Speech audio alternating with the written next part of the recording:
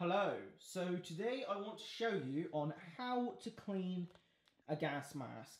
This works on the S10, the CT12, the S6, GP5 and other gas masks. Um, it's probably best not to wash World War One or World War Two gas masks as you know they're very fragile and the rubber will just break. So the first thing you want to do is grab your mask, you want to take off your filter um, if you have any other moving parts, such as the exhale valve here, let me just zoom out, Ooh, zoom out. Here we go, the exhale valve. You want to try and take it off. I'm to try my best. There we go. It's coming, it's coming. Let me just take the drinking straw off as well. Um, oh, it is very hard to get off, but there you go. It's come off. Then you want to you want to fill your sink. Um, I'm using my bathroom sink. Um, there's me with my amazing camera. You can use your uh, any sink you want really, as long as it's big. First of all, you want to fill up the sink, obviously. So we're going to put that bad boy in there. Then you want to fill it with warm slash hot water. You don't want to have it boiling hot. Uh, that's a bit too hot, but if we just get to a, a, nice temperature, so as you can see, it's sorry about the lighting, it's horrendous in here. Uh, let's add a bit more cold water. And then we, we're going to use some dish soap, uh, Fairy Liquid also works, um, other stuff like that works, any, any kind of soap will work. Um, that's nice and warm. Now let's fill it up with cold water just to make it a bit more a little bit more less hot. There we go. There we go. That is nice. Then we want to put the mask in. So basically, you just want to chuck it in like this. Chuck it in like that. You want to push it in and just get it all submerged in the water. Um, then you want to chuck any moving parts in as well. And then you want to get your soap, I guess. Uh, you just, you know, just put it all over in here, all over the mask, and then you basically just fill it up. You just keep filling it up until the entire thing is submerged into water. I don't know how well that's going to do, but yeah, hopefully we will get this bad boy cleaned. You might want to put a load of soap in here. Um, you want to try and get it as bubbly as possible because uh, this mask, you know, you need to clean this mask very good. Um, yeah, so we're going to leave this submerged like this, just, just leave it like that, and we're going to leave it like that for about 5 to 10 minutes. Right, we're back now. It's been about 10 minutes um, before we left the mask in. As you can see, it is all bubbly. it needs to be dried off. Um, yeah, I mean, as you can see, all the valves are, do work because, you know, that loads of water is coming out. But I'm going to get this dried and then I'm going to be back with you. Right, the mask is finally clean, okay?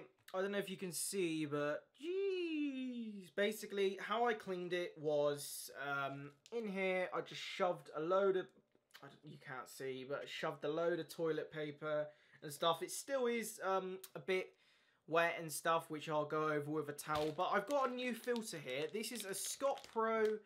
Um, this is a Scott Pro 2000 Pro. Uh, what am I saying?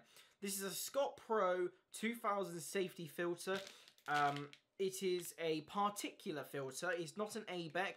So if you're thinking about getting one of these to save your life in a nuclear war, you're wrong. This will only protect you from dust, uh, um, asbestos, um, other stuff like that. Um, this this can withhold some diseases and stuff, some illnesses, some airborne diseases, but this is only a particular filter. I don't know if you can see inside there. As you can see, it's like a paper fiberglass. Um, yeah, it, it's it's basically just a a layers of fiberglass or paper. I don't know what it is. So it's not um, charcoal or anything like that. But we're going to open this. This expires in 2028. So that's nine years, well, maybe just about eight years, just eight and a half years. If I left this in this packaging, this could probably last to about 2050 maybe. Um, depending on how good the packaging is. The only reason I don't like Scott Pro is, I mean, look at this. It's got no, it's got no cap on here. Um, yeah, it's got no cap on the bottom. You know, it's in a flimsy bag, and easily I could just stab a hole in it, and then the filter's gone, basically. Um, what you want to be looking at is probably like the best uh, NATO RD40 filters and stuff like that. Um, they come in like a silver package, but I do want to try the mask um, with this filter just to see if it is dried out and see if all the valves like work. Right, let's open the filter. Oh, I'm gonna need a knife for this. Oh, trusty knife. Right, here we go. Alright.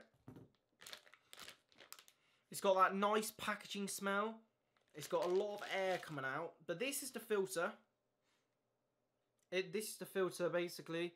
Particular thing um, here. And then you've got that. I don't know if you can see inside it. But yeah, it's, it's a, this is a nice, nice filter. Um, but yeah, it's just basically a Scott Pro.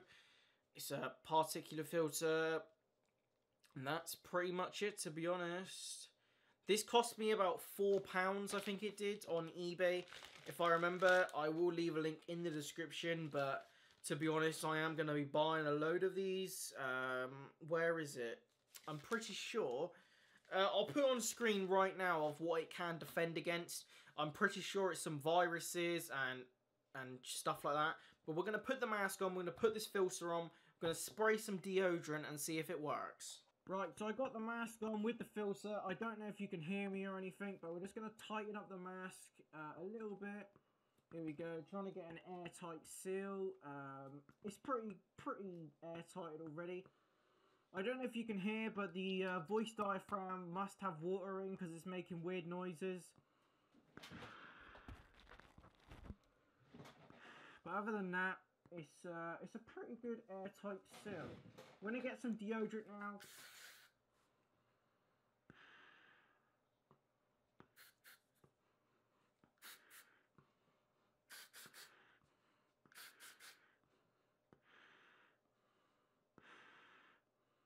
I can't smell that. Uh, we are going to just, you know, just go around the seals.